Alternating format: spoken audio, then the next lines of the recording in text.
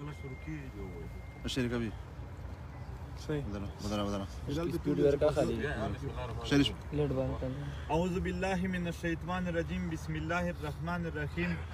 په دې خاوره د جبر او د ظلم یو لوی داستان دی په دې داستان کې د ارماندونی بې ګناه وژنه او د هغه په حواله سره د انصاف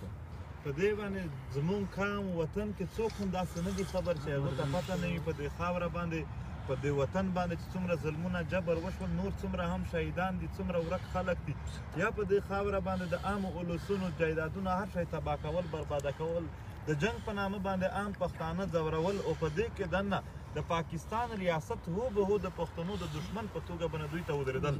په دې ټولو وختونو کې پښتون ژغورنې غورځنګ خپله مبارزه جاري ساتلې ده سبا اووم تاریخ د فروری 2021 ته د اتوار په ورځ په پیښور کې جلسه کېدونکې ده او دا جلسه په دې پیښور کې د پاک چې څومره هم ادارې دي ورسره د پیښور انتظامیه د ټولو دلته یو ځای هم نه الاوټ کولو خلکو ته یې ځای نه پرېښود چې دوی جلسه کوي زمونږ ملګرو د سوپیریر کالج سره چې کوم ګراوند وو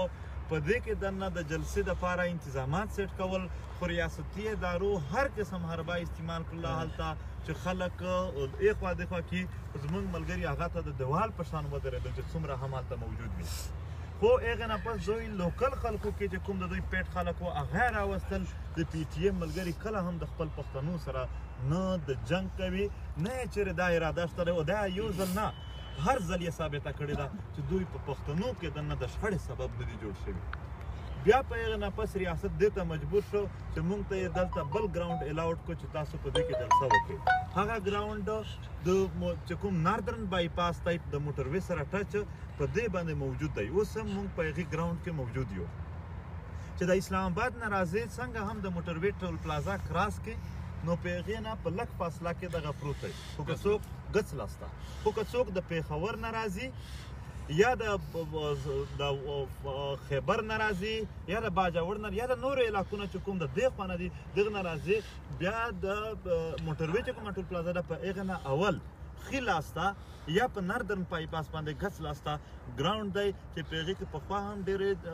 سیاسي پارټي جلسې هم کړې دي ښکارا ځای دی دغه ته روډ په نادرن بای پاس باندې هم ډایرک راځي د پیښور لاړخه او ور سره په رینګ روډ باندې هم چې مخته د موټر وې په طرف راځي نو حالت ښکارا د ګراوند لیدل شي دا چې د اسلام آباد د چرساده مردان سوات یا د دغه علاقې نه کوم خلک راځي هغه ته بالکل په موټر وی باندې جوخت پروت دی نو په دې کې سبا په 11 بجې باندې دا جلسه شروع کیږي زمونږ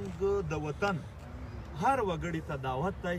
بلکې دعوت نه خبرداري ورکو نور وطن خلک په دې جبر په دې ظلم باندې پوهېدلي دي ریاست دا جلسه ناکامه ولغواړي هغه د ارمان ته خو انصاف پرېږده د ارمان تلین منزل نه پرېږدي هغه د پی ټی ایم د قیدیانو د غوښتنو مطالبه چې هغه دې راخلاص شي دغه غوښتنه